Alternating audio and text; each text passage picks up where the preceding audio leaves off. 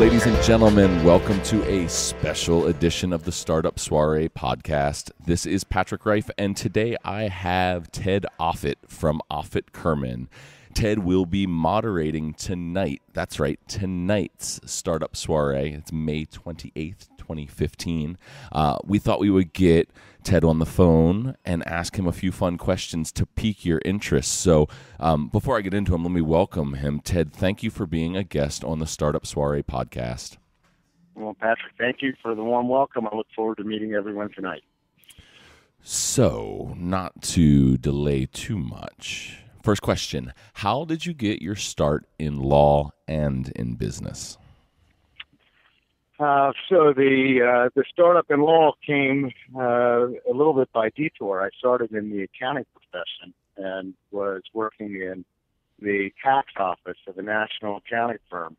And uh, most of the tax accountants were lawyers, and they uh, suggested that I go to law school. They told me the lawyers ruled the world and made all the money.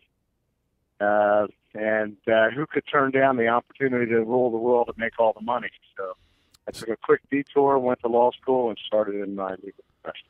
Have you, in fact, found what they promised on the other side of that rainbow? A- absolutely not. the the investment bankers rule the world and make all the money. I'm a deal transaction lawyer, and be assured it's the investment bankers that got it. So they were close. They got me out of accounting, but not to the right spot. Hey, whatever. That's one step better. I guess it's just into a different character in a Kafka book. There you go.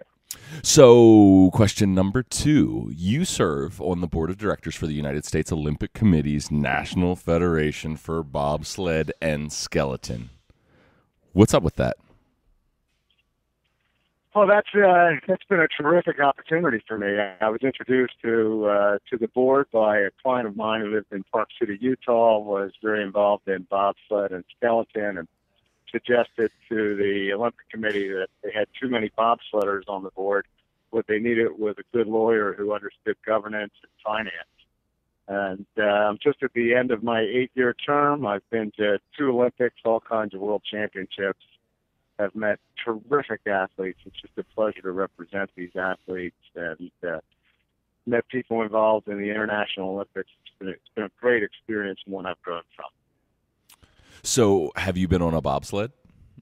I've been on a bobsled many times. Have you been and, on a skeleton uh, wet I, sled? I guess is that, is that the right I've been on a skeleton sled as well.